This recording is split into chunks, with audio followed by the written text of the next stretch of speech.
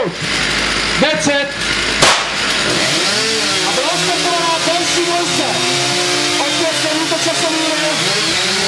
Opět vyrovnaná dvojce. Tohle je pak to končík a máme vítěze, dámy a pánové. Máme vítěze a máme dokonce ještě lepší čas než té první.